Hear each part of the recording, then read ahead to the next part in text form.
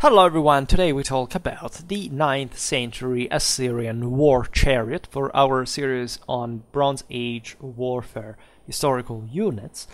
Um, and this chronological segmentation is quite important because, as you know, at the turn between the second and the first millennium BC, chariot warfare that had been dominant in, during the Bronze Age is starting to be gradually let's say, resized because of the rise, especially of infantries, uh, that mm, really made it more difficult for uh, war chariots to simply dominate the battlefields, but also horsemanship, right? So actual cavalry that was starting to side the charioteers and becoming gradually more uh, more effective. It's as if cavalry was being born essentially at this point as an arm proper because one thing is riding a horse and I made a video about the origins uh, of that right? And another thing is having an effective arm on the battlefield that you can start to appreciate historically um, together with the others. Um, so today's video really sticks to the technicalities of the 9th century Assyrian war chariot. Um, yet it, it, observes fundamentally and we don't have terms of comparison today, but that's also why I make the various um, historical unit videos um, separately. Um, it shows like how fundamentally from previous times and looking at what warfare also became later, what characteristics right were essentially taking form at this point in order to fit in this in this broader chronology. In other words, why did the 9th century war chariot function the way it did, and not in the way in the previous centuries. Also, other there are differences with other peoples; that those are significant, but there is a general trend that, as you can understand, it may be actually counterintuitive, but I say war chariots became more um, impacting, paradoxically, because that's what they could uh, achieve. Uh, while there were other forces, first of all, they were toughening, right, especially on foot, that had to receive their charge, but also because their mobility was being gradually outmatched by horsemen. And thus, what you see at, at the end of chariot warfare, especially in this very areas, think about the Seleucid army, um, etc., um, you have massive chariots that uh, are, were quite um, different from the uh, very agile ones of the Bronze Age that had to carry out a sort of caracole uh, tactic before smashing into uh, into the enemy, right, softening uh, preemptively the the enemy lines with with missile. Um, and the the best way to employ them at that point was just instead to smash through whatever was literally in front of them. Um, naturally, there were ways to cope with these charges too, and um, chariot warfare has a logic on its own that we can't quite uh, explain now, especially for those points. But there is um, a video made on Bronze Age warfare as a broader introduction, and we will come back prepotently uh, with that at some other point, because this series, as you understand it, is very thorough, perhaps even more than the ones in the Middle Ages as far as the detail goes. Uh, let's not exceed, but in terms of especially of, of sources availability, there is paradoxically more than that I'm going to make here than than in other in other series. It we also updated it less frequently, not to annoy you excessively with Bronze Age warfare. After all, I'm just a humble medievalist, but let's just go with that. Um, an important fact to appreciate here is that the Assyrian chariot design was developing particularly fast at this point, at least for the speed that you could um, measure in the previous in, in, the previous centuries. Right, the world is accelerating in terms of the art of war and civilization, broadly speaking. And in the case of the Assyrians, in particular, because of the influences coming from the Iranian and Transcaucasian military cultures. I made a video specifically on the Transcaucasus, uh, and uh, uh, in this time, and the fact that uh, of course, had a, an important impact beyond the re- the regional era for, for a number of reasons. Um, we didn't talk about Iran at the same time, but essentially what we see increasingly uh, in Mesopotamia is the infiltration of, uh, in fact, steppes people, single horsemen sometimes that were also settled by the uh, I don't know by the Urartians, but by these various groups that are sometimes even difficult to to track as far as the demographic um, dynamics. The, the settlement, especially the, in a world that was much less regulated in spite of these powerful empires, in, in, spite of Assyrian warfare that was essentially the most advanced that the world had ever seen up to this point. It really began, as we've seen also recently in, in that video about why Rome and Israel never had such a thing like um, an hoplitic phase in their warfare, to field this orderly, um, trained battle lines that were able really to, to counter themselves. Like the, the uh, char- chariotry, uh, of course, every um, every people, every every unit, even that we're seeing, like today, um, has to be evaluated mostly within the the military culture of the same people that produces it, rather than simply the enemies, right? Because actually, the, the major influence always comes from the within, right, of politics and society, rather than the enemies that they they were actually meeting, right? And there is not a a traumatic difference between um, uh, military cultures at this point, at least compared to other times in uh, later, say, uh, divide in civilizational development. Yet, of course, in relative terms, these changes are important. We can appreciate them from the same Assyrian chariot, uh, war chariot design. For the 9th century, we have uh, an important amount of Assyrian art that you can admire in the pictures I uploaded here, um, which, in fact, the cab, uh, the cabin of the chariot is depicted in great detail, as we'll see now together with the rest of, of, of the structure. It's um, essentially, as you see from the pictures, a simple box that is uh, now slightly be- below hip height. Um, the sides of which arrive slightly below the hip, right, in, in height, and sloping gently down from the rounded upper rear corners uh, to the front.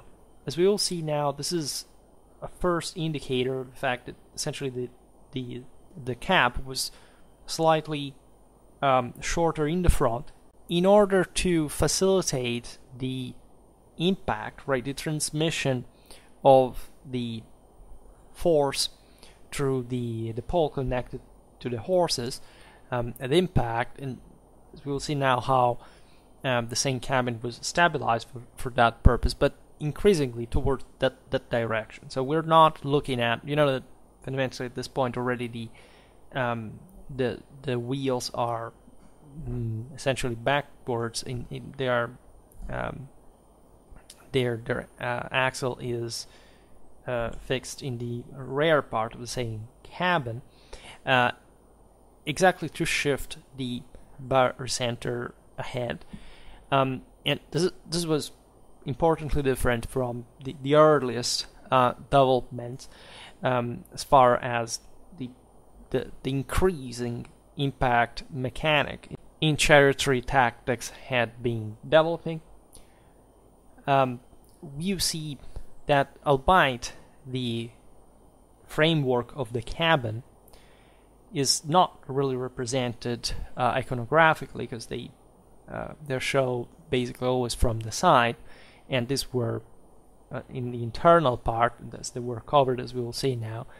Uh, we can um, assume, right, by analogy, by the way, with earlier Egyptian chariots that we physically have, right, and and I made a video um, about that, uh, if I'm not wrong, for say New Kingdom, that a single pole of wood was heat bent through steaming, by the way, to take roughly the shape of a C to form the very lower frame for the chariot floor, right? It was a robust mm, pole, right, curved just to uh, have this frontally, uh, in fact, uh, curved uh, face of the of, of, of the chariot and ending up essentially at the at the wheels. Um, the open ends of, of the C, so in the rear, were joined by a securely fastened thick strong pole while the actual floor of the cabin was made from leather thongs uh, passed through essentially through slots cut in the lower frame and interwoven to provide this um, flexible, strong, and bending and easily and gracefully moving uh, platform, which uh, had importantly enough to absorb the bumps and, and jolts um, of the of the drive. Uh, that this is important didn't have actually springs um, otherwise, and so th- this um, this we will see the were systems, of course, to absorb further. The, the entire structure was designed in order to provide the best sort of comfort for for the crew, but um, it was also a hell of a ride. It, it required specific mm, athletic capacities to um, uh, to fight uh, on on board independently from the the actual role.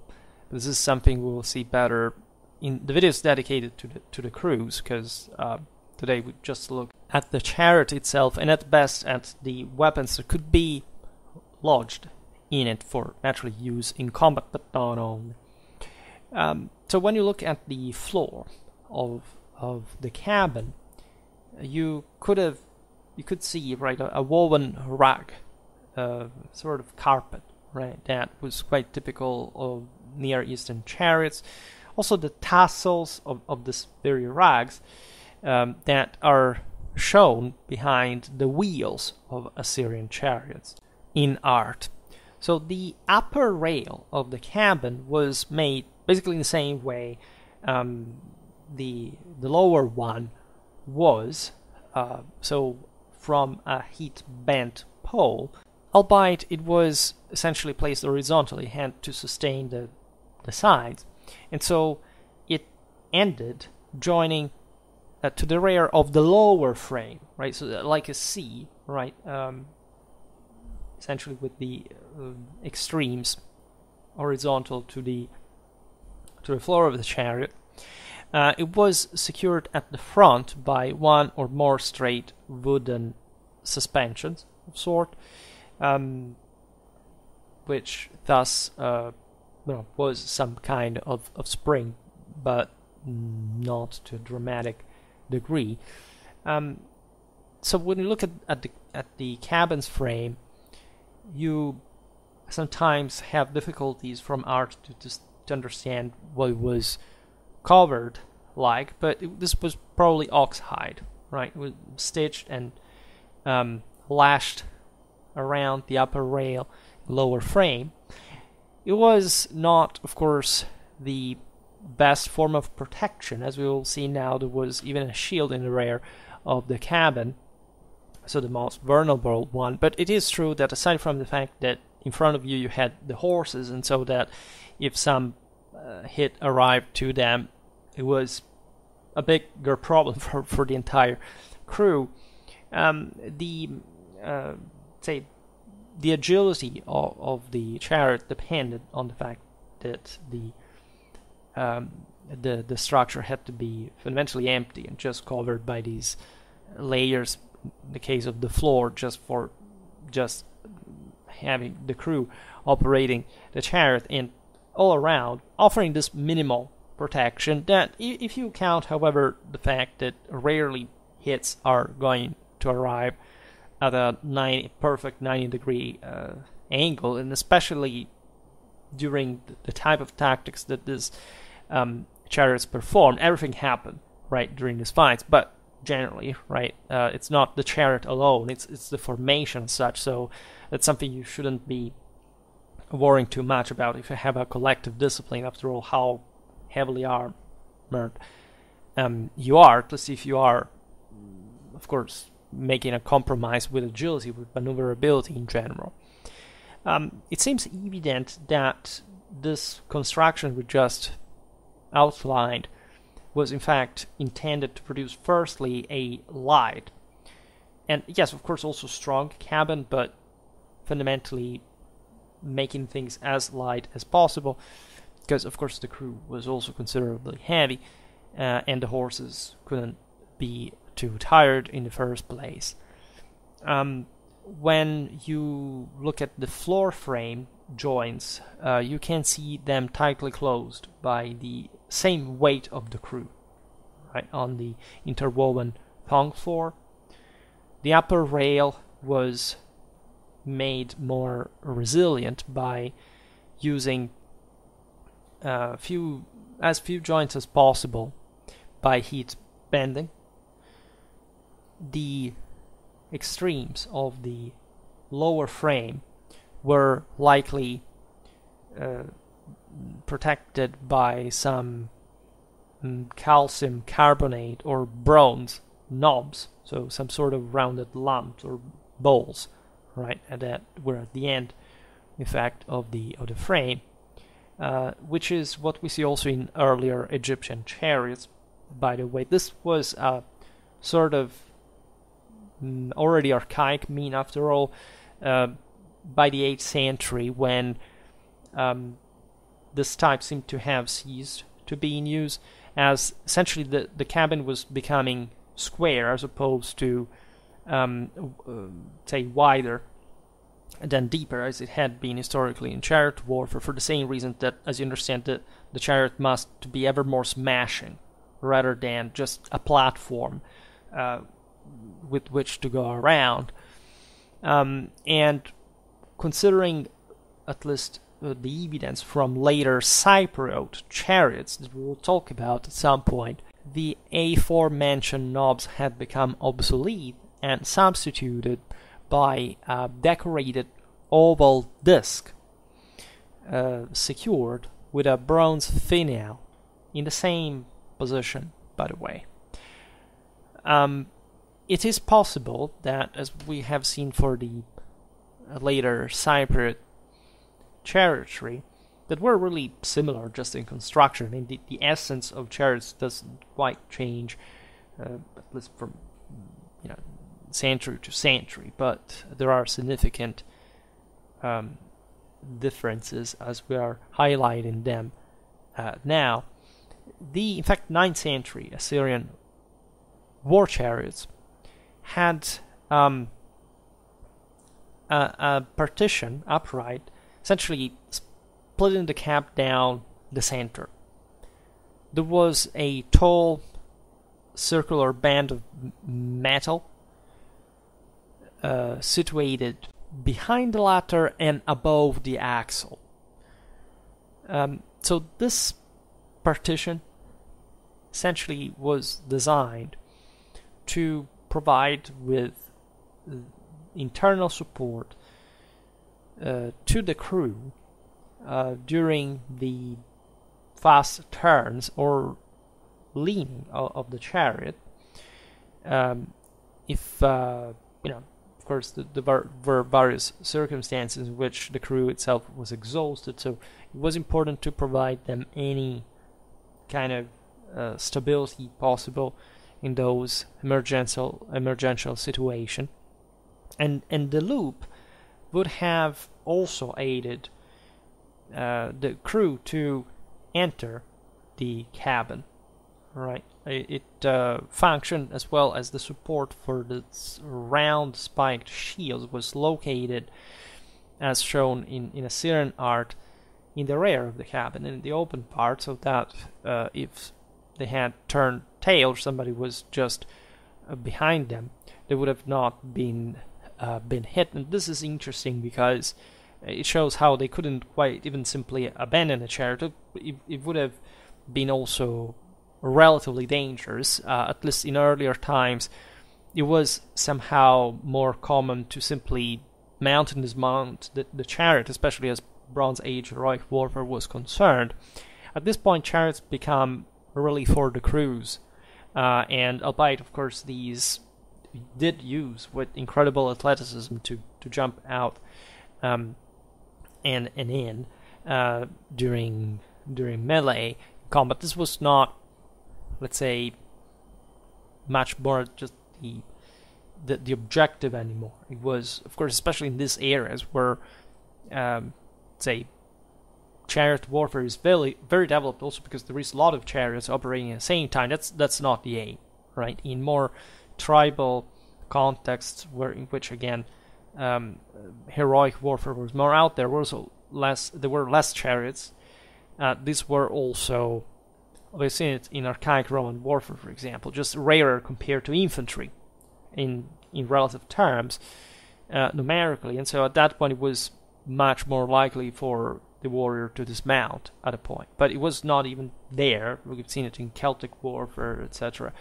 The the primary objective, of course, if you had uh, war chariots, the, the main purpose, as for any unit, was to use them collectively. Um, the Assyrian war chariot probably had also only a partial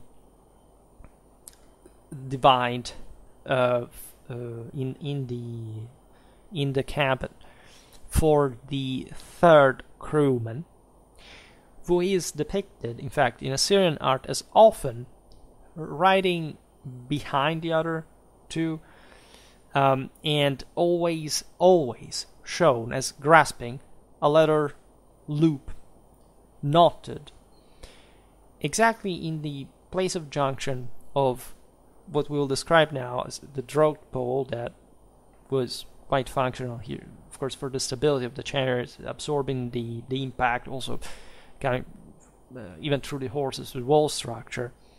Um, and that, however, was particularly um, robust exactly for that reason, supporting the upper rail, as we've seen at the cab front, right? So this, we, without this handhold, it would have been difficult for this third crewman to even move, right? Um, and not just to be unbal- dangerously unbalanced. Tolkien size, approximately an Assyrian war chariot cabin had to be 80 centimeters height in the front, 90 in the rear, with a depth of uh, the the structure from front to back of 60 centimeters roughly. So you realize how this thing is heading compared to the previous models towards really a, a, a squared um, form. Um, one of the most interesting innovations, however, that we see in, in Assyrian war chariotry is the um, subframe and draught pole. Um, this is important because before in the Near East, this type of um, structure had not existed, right? And it has uniquely to do with the increased need for smashing power during the charges. Uh, we are very lucky to get again this um, this highly decorated bas relief about uh, the chariots, for example, of Ashurnasirpal II. We are between the 80s and the 50s of the 9th century BC. Um, before that time, we mostly have to rely on the Egyptian examples uh, that had a simple subframe with essentially a single hit bent road pole that was in between the rear mounted axle, so where the uh, the wheel was, as we've seen at, at the um, at the rear end of the same uh, cabin, and the two grooved mountings that connected the axle with the sides of the lower frame, right?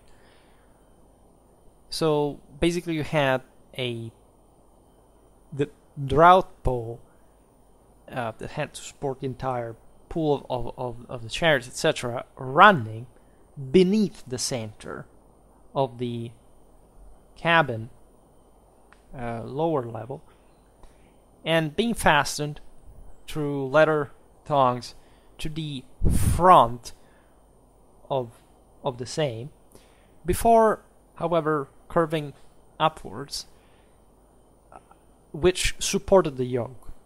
Right, so it's something that really didn't have any other complicated, um, say, multiple parts. It was just this pole making the entire work.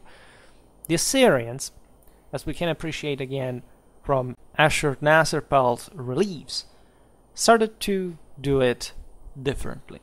There are actually two chariots depicting sort of the older drove pole system, but all the others, which statistically are quite relevant uh, in this rich representations, clearly depict the pole passing across the lower front of the cab to a ribbed element that is located on a sort of wedge-shaped uh, spar passing at the level of the lower, uh, say, of the, the floor of the cabin. Um, so back behind the wheel to the axle. There are also other chariots in substantial quantity provided with a second curved shaft that runs below the draught pole and that joins uh, a similarly ribbed part of and and and the spar underneath and sometimes even overlapping with the first one. Um, so the details here are somehow difficult to represent. If you look at the uh, at the pictures, you may get an idea, right? Um, they are detailed enough if you look them um, to show essentially that there were two draught poles, right? That there is no such thing like the heat band longer one going underneath the cabin's uh, floor frame, but these are actually socketed into two separate spars that are located on both sides of the cabin. And when you look at the rib, you realize that this was a sort of metal clasp that secured the socketed joint that was vital for the entire stability of the thing because it, if it opened right literally you would have the horses running uh, it's a, at, at, least it would um, uh, it would create a, a dramatic fracture it would, it would break essentially the the, the uh, remaining pole and everything would have collapsed right um, the interesting aspect is also that these poles converged at a brief distance in front of the cabin to eventually run together up to the yoke. Right, so it's a sort of Y-shaped uh, structure for the same, so the two poles uniting, and it probably derived from the Transcaucasian two-wheeled carts displaying a sort of A-shaped frame, um, which may have in turn been derived from the 10th century Iranian chariots. Now, the reason why this uh, essentially uh, draught pole reinforcement came around from those regions is the fact that, of course, their terrain was much bumpier, to say the least, some of it is really mountainous. There are a few plains. Um, and there is at the same time more cavalry that requires chariots to be more compact. Um, to some degree, um, you can argue that, in, at least in relative terms, infantry had a greater importance, uh, especially in the Caucasus, than it had in Mesopotamia right? But mostly it's about the overall increase of the chariot stability again uh, against the uh, the odds, whichever they were. Primarily, of course, the enemies in a way, but um, the uh, the terrain as well, right? They had to be more resistant um, and withstanding greater impact, right? And this has to do definitely, even in Mesopotamia, with the strengthening of infantry. So it's not merely an imitation from peoples that, after all, were just at the outskirts of the more powerful empire that Assyria represented, right? And we have observed uh, some of this also in the video about the Neo uh, army organization, by the way. Um, we do not know even exactly when this drought system was adopted by the Assyrians because in the 9th century we see it already m- mature in in the local art and so we presume that of course it was not a novelty right? And that actually at this point it had become the standard. So there actually gradual changes but still significant ones for um, a military t- technology that was fundamentally quite um, say leveled quite um, compactly responding to very practical needs so this does show a sort of shift in the relation of the various arms in a broader sense, which this is just a consequence of. Um, Ashurnasirpal II fought in the north of Assyria early on in his reign. Um, it's um, it's possible that at that point he had um, needed to improve the robustness of his chariots uh, on tougher ground against tougher uh, infantries, uh, and that he wanted expressly to celebrate this technological accomplishment um, by instructing his own artists to, to represent the very details of which he was um, so say of, the chariots of which he was so proud because of his uh, military deeds. All right.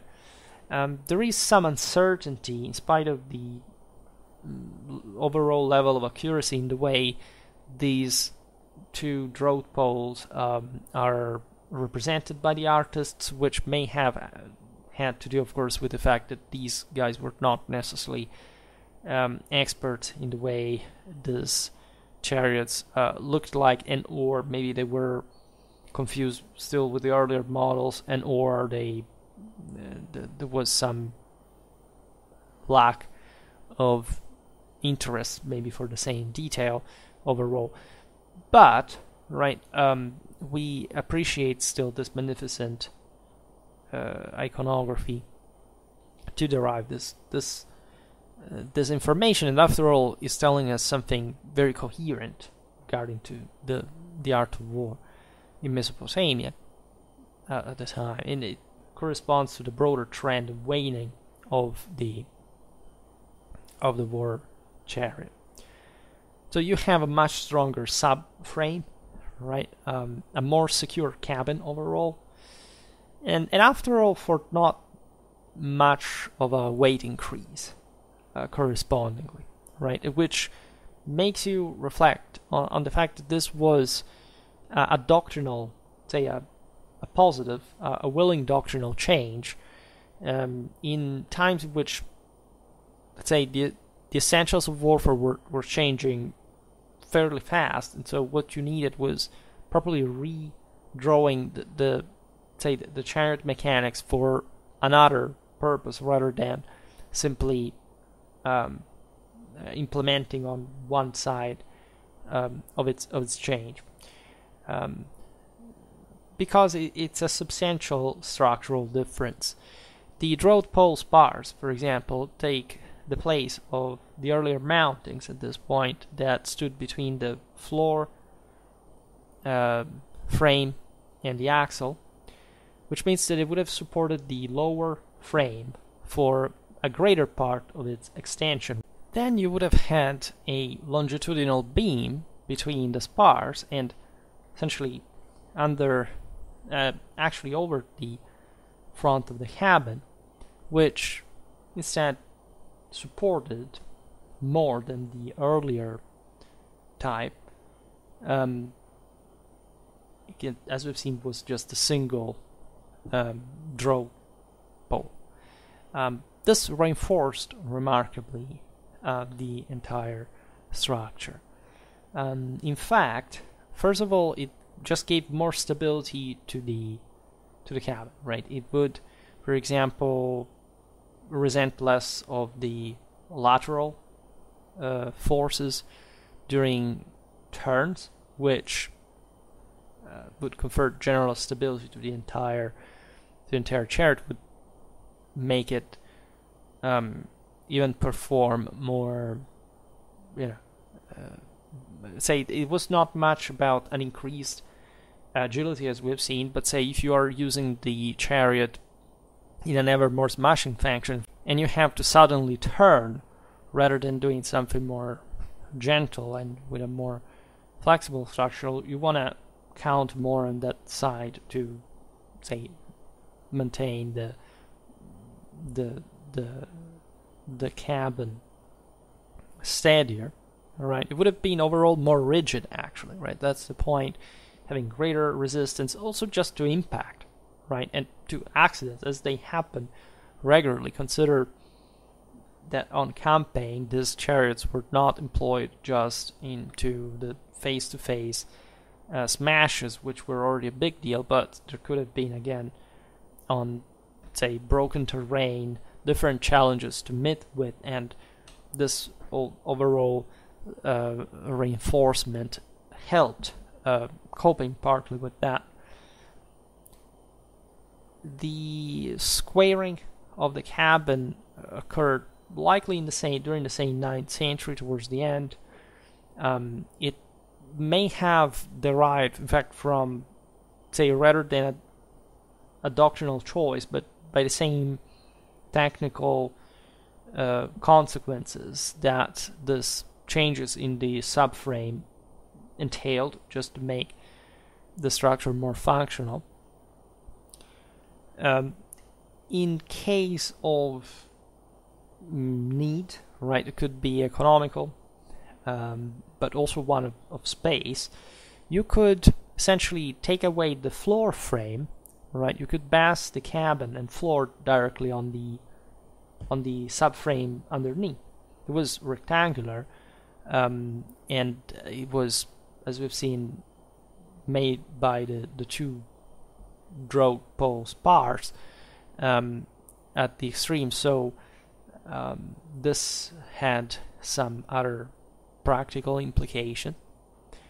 Plus, we see metal clasps at the joint with the subframe.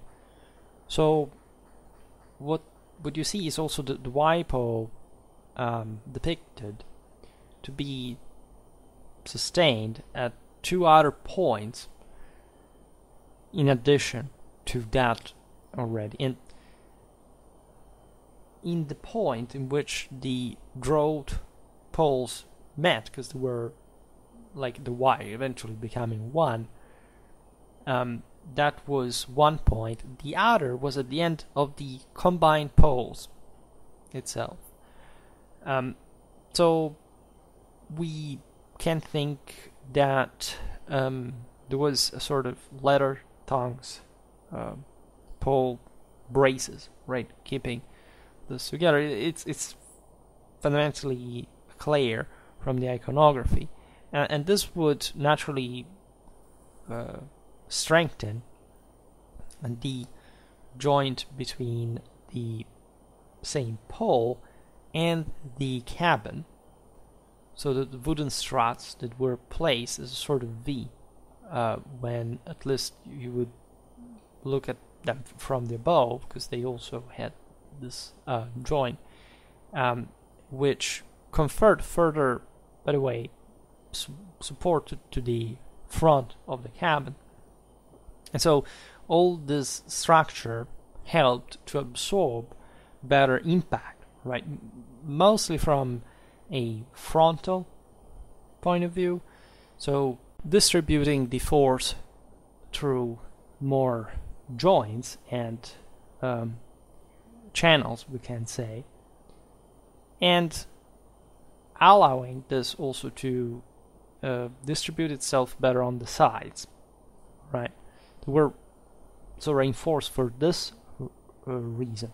The pictures are clear enough. You have a sort of curved rod that um, makes this jump like um, between, say, the horse and the um, and and the cab, and it's sustained by these other two elements uh, from the above that join with above with the cab.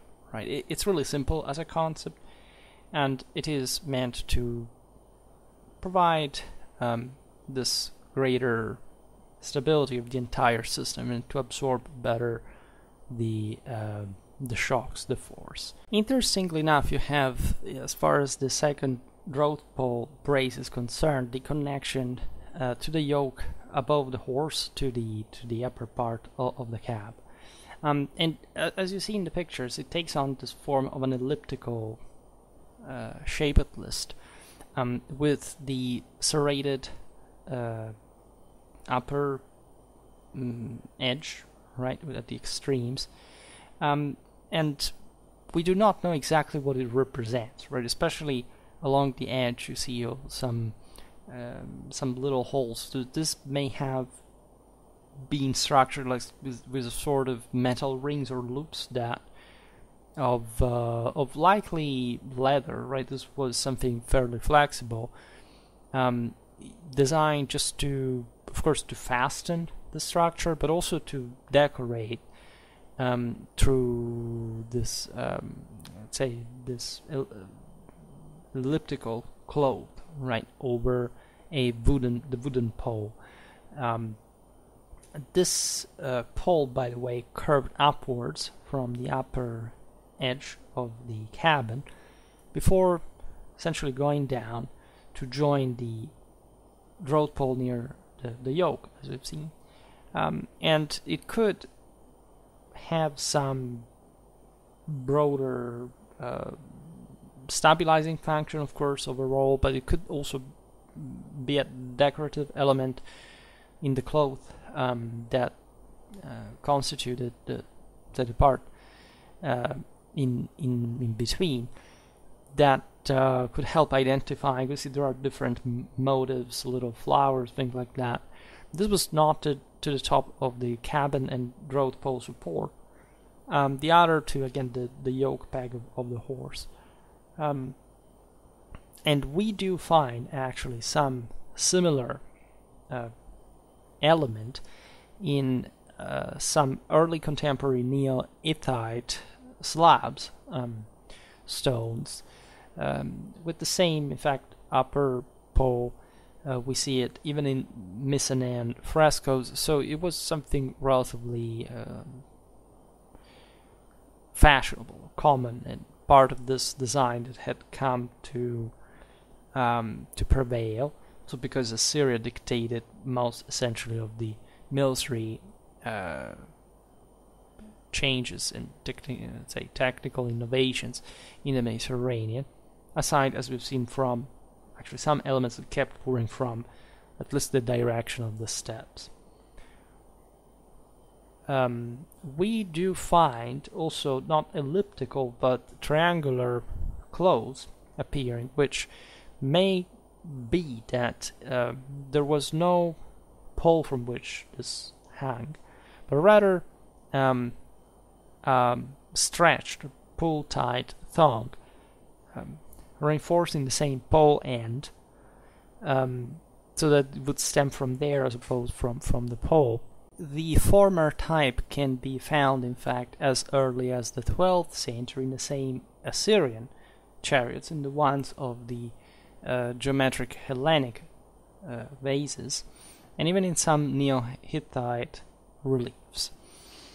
Uh, in other words, the thong and pole braces functioned um, in a similar way uh, to the in fact, it was this narrow strip of leather or, uh, or, or struts right between the cabin and the draught pole mechanism that we explained before, with the the possibility of a solid pole variety preventing the draught one from uh, moving uh, upwards and uh, placing in fact too much strain on the joints um, uh, between the, the, the road poles parts as well. So everything was calibrated really to offer the, the minimum, uh, of course, uh, stress to the to a single point and just distributing it as uh, effectively as possible. Uh, perhaps the best type of chariot uh, we are exemplifying today is the one from the reliefs of Ashurnasirpal II at Nimrud.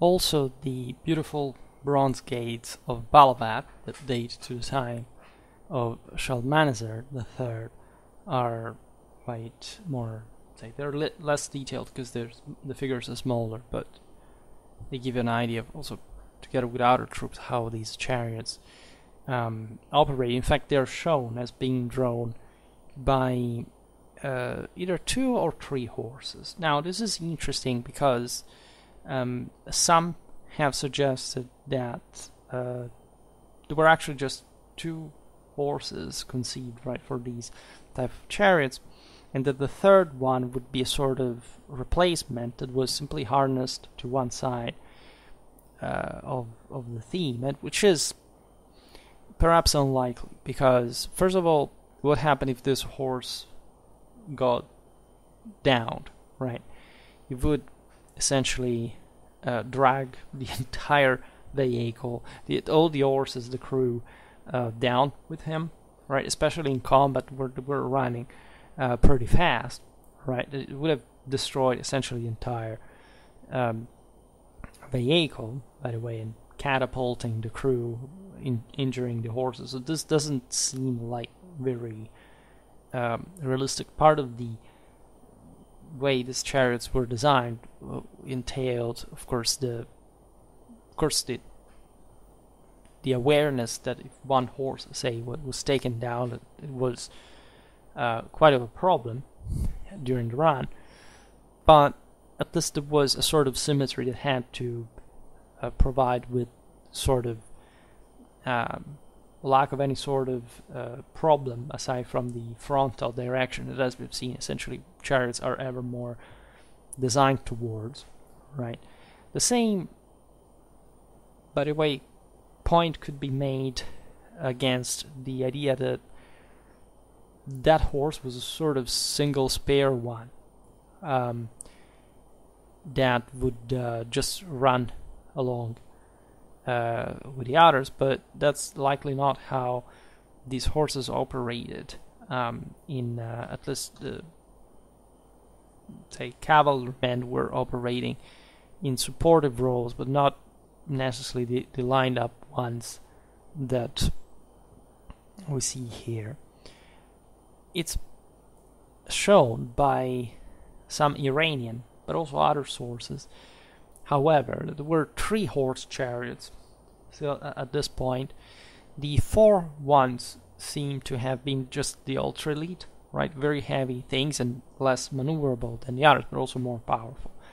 Um, so the, it, it, was possible to adapt uh, the two horse chariots to take four horses by essentially attaching the horses to the relative upturned ends of, of the yoke. And only the inner horses at that point would have wooden yoke saddles, right? Better, of course, connected to the entire system we've seen today. Um, and you realize that, as such, the outer horses were not really pulling, right? This seemed at best a more stable solution than the three horses, so in an asymmetric fashion. However, later there would be improvements that would uh, afford, like the all four the horses to equally pull. By the way, which as long as the thing remains symmetrical, so the difference between the outer and inner ones was not this huge deal, but still you could increase, of course, the uh, the pull dramatically. They're doubling it, literally. Um, there were mm, breast bands for the horses, also some backing element by the way. Of course, the chariot were loaded in weapons that could be wielded by um, the crew, so we can think about the you know the full panoply there: bow, uh, quiver, um, axes, spears, darts of every kind. Um, you see crossed uh, two cross quivers attached at time to the sides of, of the cap. Remember that chariot warfare was still about a lot of missile warfare as well, right? And uh, the spear could be held in a separate holder. Um, you could see even standards, of course, um, carried in the chariot. One interesting aspect about the standards is they had uh, a disc shape um, and bore the image of the essentially the national god of the ancient Assyrians, uh, Ashur, right, um, which would remain, in fact, the same until the gradual conversion to Christianity uh, until the 5th century AD. Were also other religious devices, different deities, of course, in the hierarchy of uh, these warriors that at some point did believe to really descend from, from gods in a relatively uh, close past, right? Um, so there is all an interesting picture there. But the, the disc there is also the key a bit to the fact that um, this shape was the symbol of Ashur in the Assyrian times. Some say that it could represent Shamash instead, but we see this also inherited in the Achaemenid uh, symbology later on, and uh, so also the, the shape here of the standard is not really random. Uh, the the shape was again oval with wings, right, and that is obviously the the imperial symbol divine vi- glory, victory, descending from heaven. Um, the horses themselves, can I say that they were decorated with some kind of padded armor, right? Would be somehow typical, also for, for example for the monarch's chariot. Um, they were heavier form of armor, um, with and also just the design could be different. For example, there were lamellar trappers, um, and generally speaking, we will talk about horse armor in, in another video as far as the Syrians go. This is mostly about the chariot, and things are somehow more complex, and even they're evolving over time, so they're interesting to track uh, accordingly. Uh, for today, however, I stop it here. I just hope that you enjoyed this video. If you did, please share it. Otherwise, leave a like or subscribe to my channel if you're interested in my upcoming content.